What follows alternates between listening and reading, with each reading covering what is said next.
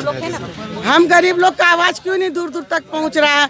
सब कोई का देखते हैं जितना भी नेता हो गया विधायक लोग हो गया है जितना भी टीचर लोग हो गया है आंगनबाड़ी सेविका हो गया सबका आवाज़ दूर दूर पेपर में टीवी में दिखाता है। हम लोग होमगार्ड का क्यों नहीं टीवी में दिखाया जाता है? हम लोग को जवाब बताइए जवाब दीजिए हम लोग को। क्या हम लोग इसी तरह धरना स्थल में बैठे रहे? पूरा परिवार छोड़ करके यहाँ बाल बच्चा जंगल में डेली सांप बिच्छा निकलता है। जहाँ तहाँ लेटरिन जाओ नहाओ दो चार कोस जा करके लेडीज़ लोग को कितना परेशानी हो रहा है यहाँ पे। ना सोने का जगह है ना खाने का जगह ना नहाने का जगह है। हैं? हम लोग कितना परेशानी यहाँ पर झेल रहे हैं रह करके। हम लोग का अभी तो आप लोग को यहाँ बैठे कि इंतज़ार कर रहे हैं कि भाई उम्मीद लेकर के कि जल्दी हम लोग को भी बहाली किया गया था। ऐसे हम लोग मांग के वर्दी नहीं पहने थे। जो बहाली किया गया था तो अभी हम लोग जो मांग करे, उसको तो पूरा कीजिए। दो दिन वर्दी पहन के हम लोग इमरजेंसी में आके ड्यूटी करेंगे, बाद बाकी दिन घर जाओ, घर में बैठो। बाद बाकी दो पैसा जो मिले, वो सालों भर चलेगा हम लोग का परिवार। इसीलिए जो हम लोग का मांग है, वो पूरा होना चाहिए। तब हम लोग कभी धरना में उठेंगे और ड्यूटी भी ज्वाइन करेंगे। नहीं तो ड्यूटी भी नहीं करना है और धरना से भी उठना नहीं है। क्या दर्द होता है आप लोग कैसे लिए थे नौकरी? क्या और हम लोग का बहाली पुलिस मेनू में मेनुएशन में जो था उसी हिसाब से हम लोग का बहाली हुआ। रिटर्न हम लोग दिए दौड़ हम लोग दिए फ़िज़िकल हम लोग ये किए सब कुछ किए हैं उस हिसाब से हम लोग को लिया गया था। अभी वो मांग हम लोग का जैसे कि दो दिन ड्यूटी और बाद चार दिन घर में बैठो दो दिन ड्यूटी में क्या होगा? चार दिन अगर बैठेंगे? सरकार से कितनी उम्मीद थी? सरकार से अभी उम्मीद है कम से कम हम लोग को बारह महीना ड्यूटी चाहिए और जो हम लोग का पेमेंट मांग किए हैं हम लोग का संस्था से वो हम लोग को मांग पूरा होना चाहिए। बिहार का जो दे रहा वो लागू यहाँ भी करना चाहिए। उतने ही हम लोग ये कर रहे हैं। ये नहीं बोल रहे कि पुलिस का जितना वेतन है उतना ही हम लोग को चाहिए। जो बिहार में लागू है वही चीज़ लागू करने के लिए मुख्यमंत्री जो हम लोग को वादा किए थे वो पूरा नहीं कर रहे हैं ठीक है? कि कुछ भी पहले समस्या हो पहले होमगार्ड को खड़ा किया जाता है। मतलब जो बिहार को मतलब मिल रहा है झारखंड होमगार्ड को भी मिलना चाहिए। हम लोग को कस्तूरबा में ड्यूटी मिलता है इतना हम्म, एक साल में चार महीना ड्यूटी मिलता है वो भी हम लोग कस्तूरबा में कर रहे हैं। हम लोग को चौबीस घंटा ड्यूटी करना पड़ता है। आठ घंटा का ड्यूटी आराम से बोल। सरकार को सब कुछ पता है फिर भी हम लोग के साथ ऐसे ही कर रहे हैं।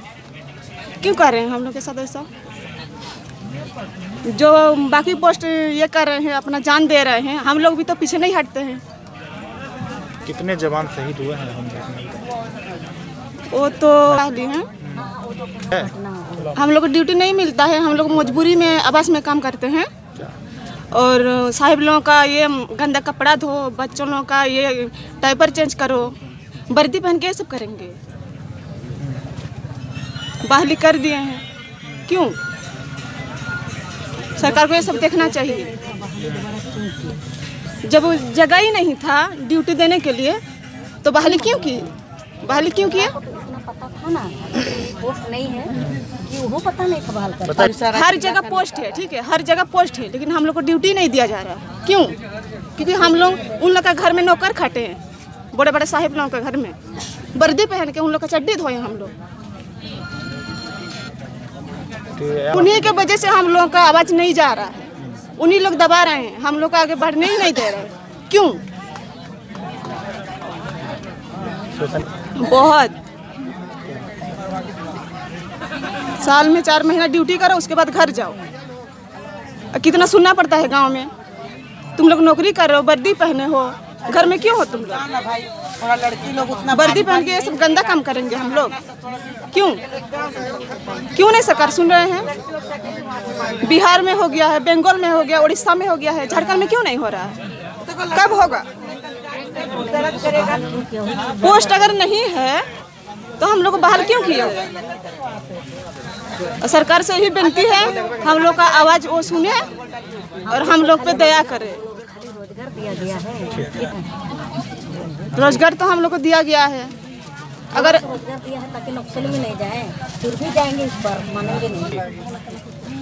हाँ हम हम बोल रहे ये चीज़ कि जब पोस्ट नहीं था, सरकार को ये चीज़ पता था कि पहले हम लोग को 700 साढ़े सात सौ, आठ सौ, दो हज़ार नौ का बहाल किए हुए हैं हम लोग को।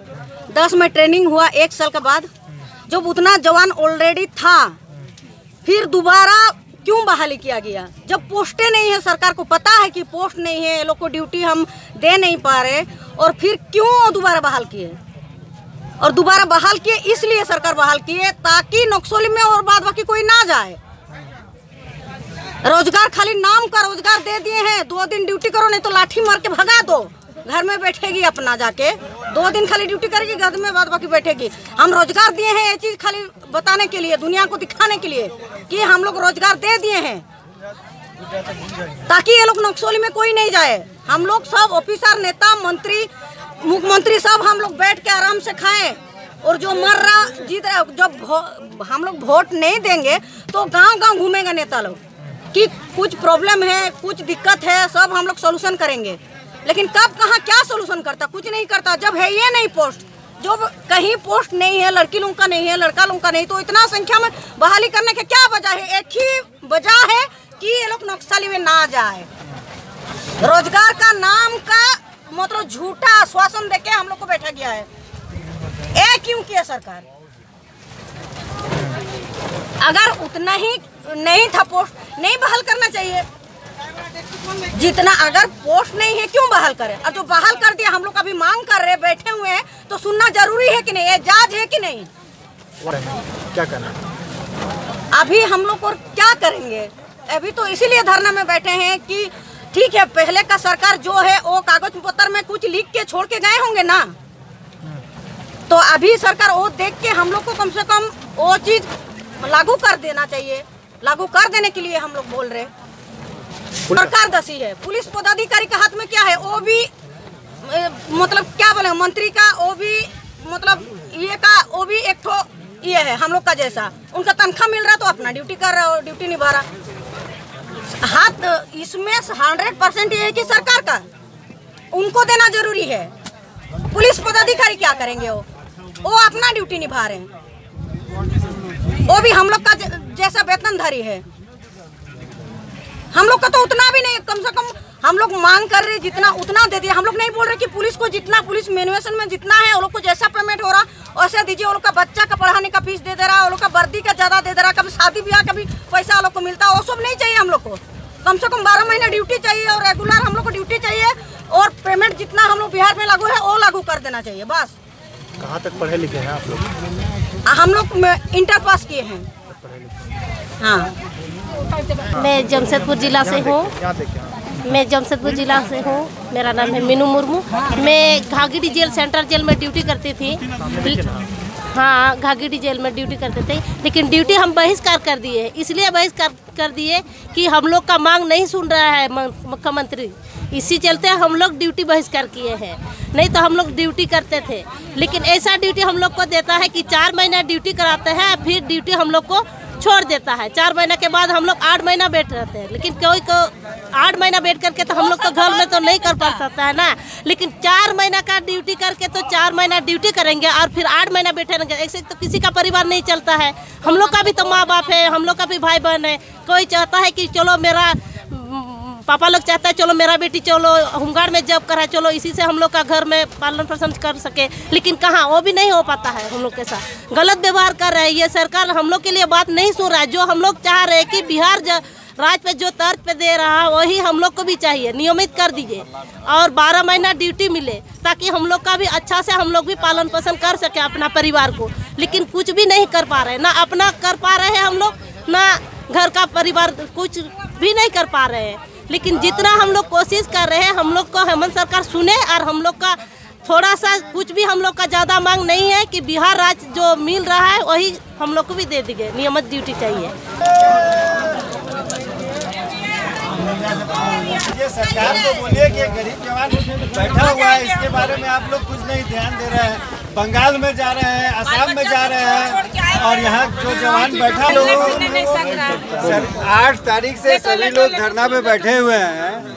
सभी लोग बैठे हुए हैं। सबका रुपया पैसा जो भी था वो तो ड्यूटी में मिलता था। तो ड्यूटी भी छोड़ दिया है। अब लगता है कि हम लोगों को भूख हड़ताल में रहना पड़ेगा। यहीं पर अब हम लोग कोई कोई उपाय नहीं है। हेमंत सरकार असम में बंगाल में चुनाव जीतने के लिए कर रही है। इनको वोट कौन देगा?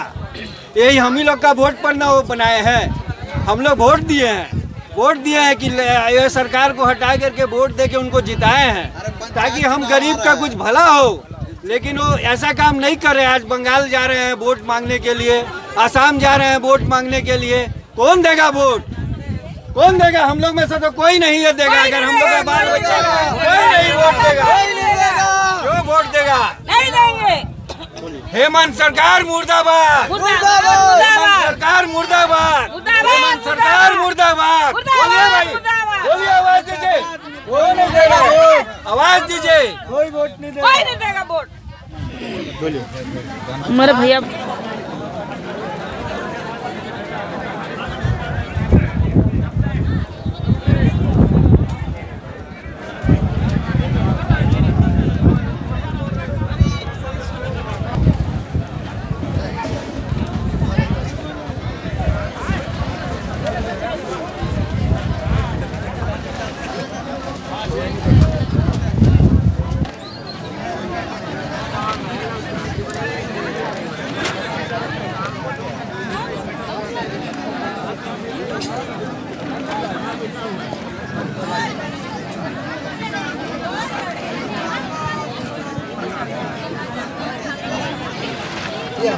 हाँ बोलिए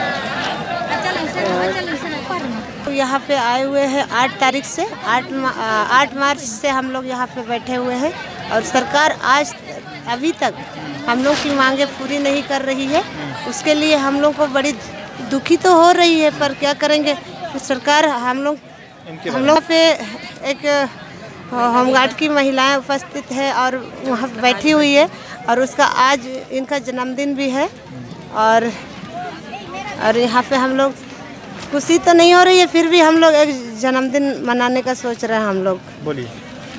आज मेरा जन्मदिन भी है और हमको घर का बहुत याद आ रहा है। हम घर में हर साल जन्मदिन इतना अच्छा से मनाते हैं और आज यहाँ पर हम लोग धरना में बैठे हुए हैं। इतना दिन से हम लोग आठ तारीख से बैठे हुए हैं। आज तक हम लोग की मांगे पूरी नहीं हो रही है।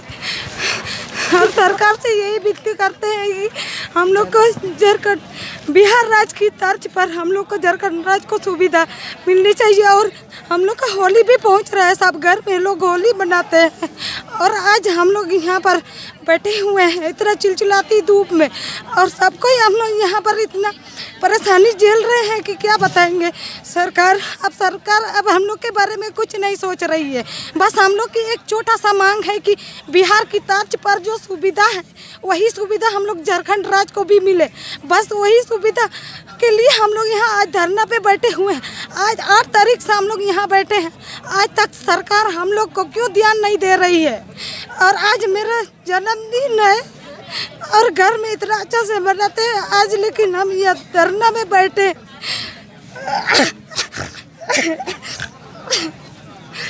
सरकार से विनती करते हैं कि जल्दी से जल्दी होली का हम लोग को तोहफा के रूप में एक छोटा सा मांग हम लोग रख रहे हैं।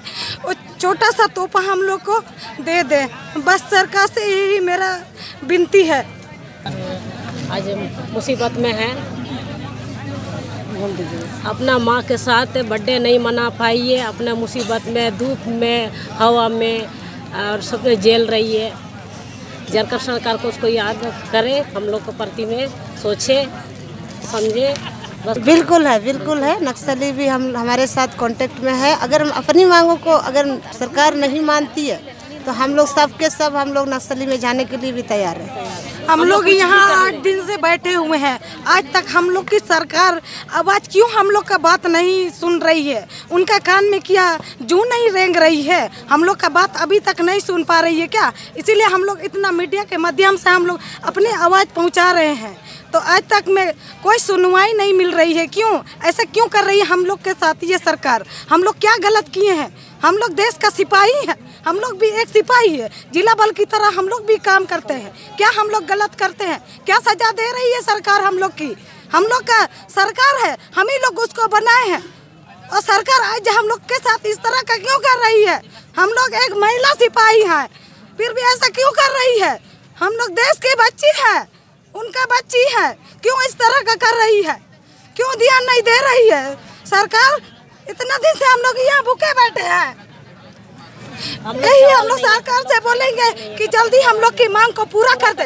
एक छोटा सा मांग ही तो मांग रहे हैं उससे। हम लोग बिहार की तर्ज पर जो सुविधा है वही सुविधा हम लोग मांग रहे हैं। नहीं। हम लोग आगे अपना प्राण यहीं पर त्याग देंगे अगर पूरा नहीं करते हैं तो। कार्य बहिष्कार करने का काम किया है। आज हमारे बीच पंद्रह हज़ार जवान मौजूद है। माननीय मुख्यमंत्री जी, मैं फिर बताना चाहता हूँ कि गिरिरक्षकों का काला होली होगा तो मैं प्रशासन का भी काला होली हो प्रोत्साहित करूँगा। क्या कहना चाहेंगे सरकार अगर नहीं मानती है इसके बाद भी तो आप लोग क्या करेंगे बाबा। तो बोलना कि आठ तारीख से हम लोग यहाँ पे धरना पे बैठे थे लेकिन हम लोगों की मांग को अभी तक पूरा नहीं किया है जिसके कारण हम सभी अठारह हज़ार जवान ड्यूटी बहिष्कार का निर्णय लिया और आज होली के लेकर यही कहेंगे माननीय मुख्यमंत्री जी। साई मंदिर के धरती गिरिरक्षकों को ड्यूटी सुनिश्चित कर दे और अपनी स्वर्ण रेखा में नाम लिख इतिहास में नाम लिखवाने का काम करें। मैं यही कहना चाहता हूँ माननीय मुख्यमंत्री जी गिरिरक्षकों का तीन सौ पैंसठ दिन। अठारह हज़ार होमगार्ड है जो होली में काम मुहैया करा दे अब बिहार के राज जो बिहार दे रहा है वो झारखंड में लागू कर दे और स्वर्ण रक्षा में अपना नाम इतिहास में लिखाने का काम करें। माननीय मुख्यमंत्री जी से मैं आग्रह करता हूँ। अभी तो आग्रह अस्सी- अभी तो अंगड़ाई है अभी ये अंगड़ाई है। आगे बहुत लड़ाई है। मैं हर सीमाओं को फान कर लागने का काम भी मैं करूँगा। आपने सोचा होगा देखा होगा ये होमगार्ड बंदरी सेना है। बंदरी सेना इस धरती पर आ गई है। तो जिसका नेतृत्व हनुमान कर रहा है तो आप लोग देख लीजिएगा। अगर होली काला होली अगर होगा तो मैं मुख्यमंत्री का भी का, काला होली मनाने का काम करूँगा। मैं कामेश्वर पंडित का ऐलान है